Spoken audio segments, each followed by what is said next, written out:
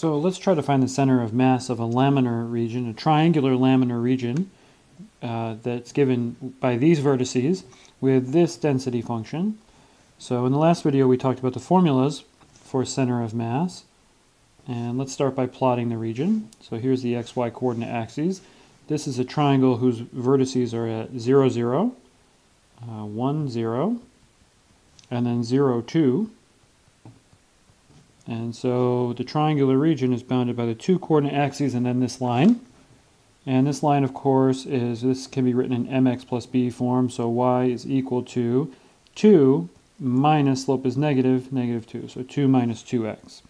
And so this can be thought of as either a type 1 or a type 2 region. The way that I've written it here, it looks like it's probably going to be a type 1 because I've got a formula y equals something.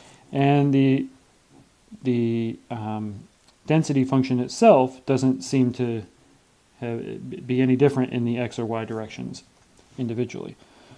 So let's start by computing the mass. The mass is going to be important, and then we'll compute the moments. Remember, the mass is just the double integral over the region, this is our region D, of the density function. So, in, as a type 1 region, this is going to be the integral from 0 to 1 in the x direction, integral from 0 to the curve, so 2 minus 2x in the y direction.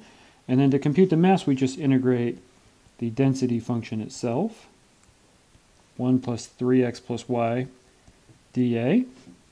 This is an iterated integral, so we start with the inner integral, which, by the way, um, this dA is correct, but I've already written this out in, in terms of a type 1, so it's going to be dy then dx. And when we iterate, we integrate with respect to y first. So the antiderivative in here is y plus 3xy plus 1 half y squared. And the boundaries of the y are from 0 to 2 minus 2x. And of course we have to plug in these boundaries before we do the next integral because the boundary, well for many reasons, but one obvious reason is because the boundary here has x's in it itself. And so when we plug in this becomes 2 minus 2x, goes into here, plus 3x times 2 minus 2x, plus 1 half 2 minus 2x quantity squared. Then when we plug in 0 for y, everything gets zeroed out. So only the upper bound is going to leave anything for us to integrate here. Before we integrate this one, let's multiply everything out and then combine like terms if we can. So this becomes 2 minus 2x plus 6x minus 6x squared, and then plus a half times 4 minus 4x plus 4x squared. Sorry, this is 8x in the middle, minus 8x. So it's minus 4x minus 4x dx. Um, we can cancel some stuff here. So this 2 will make this a 2, this a 4, this a 2, and then we can combine this into a single integral. 0 to 1, the constants are going to be 2 plus 2, so that's 4. We have then minus 2x plus 6x minus 4x, so that's, that's all going to cancel out. Minus 2 plus 6 is plus 4, minus 4 is 0, so that's gone. So we can color code this stuff. So the 2 and the 2 made 4 the minus 2 plus 6 minus 4, that's 0, those are gone. And then we have minus 6x squared plus 2x squared, so we're left with minus 4x squared dx. Okay, and now we just integrate this one. This is a simple integral with respect to x. I guess if I'm integrating it, this is gone. So this antiderivative is 4x minus 4 thirds x cubed, and x varies from 0 to 1. So we end up with 4 minus 4 thirds minus 0. And when we work this out, we add this up. This is 12 minus 4, so 8 thirds. And so that's the mass of this region. We next need to compute the moments of mass, and then we can find the center of mass. So the moments, remember, m sub y this is the double integral over d of x times rho of xy dA. So this is going to be the double integral of x times 1 plus 3x plus y dA all over d. All right, so there's our density function. We multiply by x for this one. and otherwise, we're multiplying, we're integrating over the same type 1 region. So everything's going to be very similar, except we're going to have this extra factor of x here. So let's work it out. The boundaries are the same. The thing we integrate is similar. So this becomes 3x squared plus xy squared dy dx. The inner, inner integral is exactly the same, except now we have these extra, this extra factor of x everywhere. So xy plus 3x squared y plus xy squared. I had a typo here. I'm sure you all saw it and were yelling at me, but that was just a y. This is then y squared, and then the half shows up here. And then our boundaries are again, y goes from 0 to 2, 2 minus 2x. And so the thing we have to integrate is x times 2 minus 2x plus 3x squared times 2 minus 2x plus 1 half x times 2 minus 2x quantity squared. The 0 still zeroes everything out here.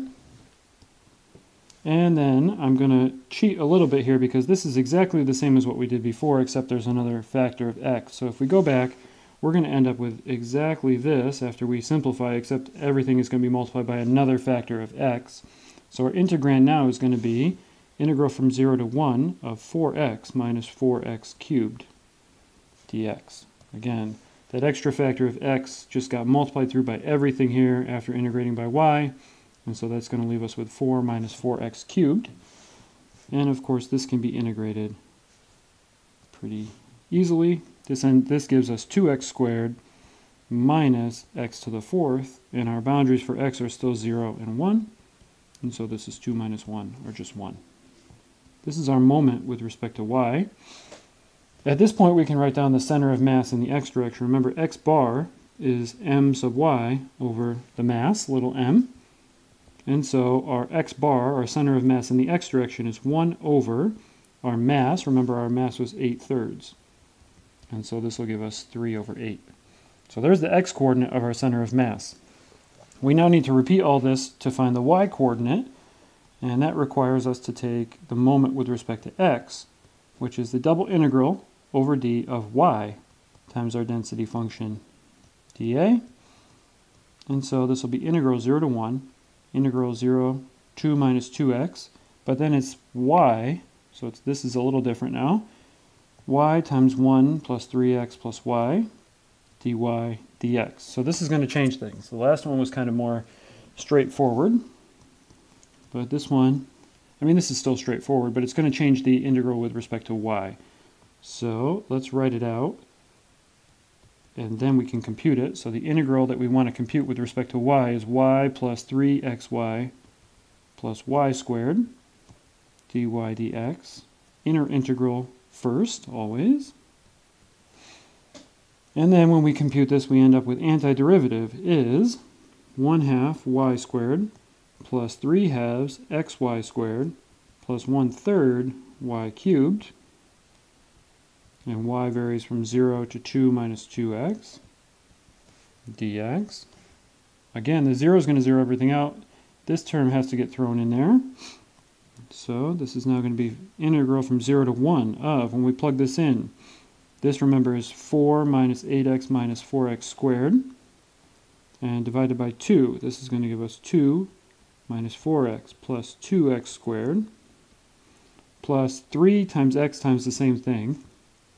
So 3x times all this is going to be plus 6x minus 12x squared plus 6x cubed. So there's the first two terms. And then we're going to have plus a 1 third 2 minus 2x quantity cubed dx.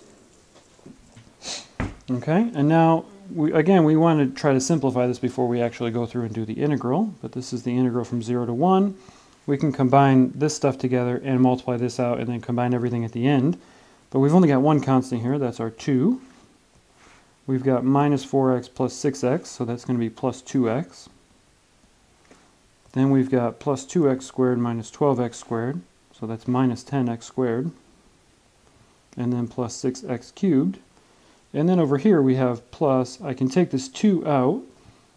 2 cubed is 8, so that's 8 thirds times, and then what I actually cube is then 1 minus x cubed, and that is, of course, 1 minus x, sorry, that's not right. It's 1 minus 3x plus 3x squared minus x cubed. Just multiply this all out, carry through the minuses. So that's what's going to go here. So 1 minus 3x plus 3x squared minus x cubed. This is all times 8 thirds. And so we now carefully add everything up, and then we just have one more integral to do. So 2 plus 8 thirds is 14 thirds. So 2, which is 6 over 3, right, plus 8 thirds is 14 thirds. The next term we have is 2x um, minus 8x. 2x minus 8x, that's going to be minus 6x. The next term we have is minus 10x squared plus 8x squared. So that's going to be a minus 2x squared next. So minus 10 plus 8. And then the very last thing we have here is, run out of colors, 6x cubed minus 8 thirds x cubed.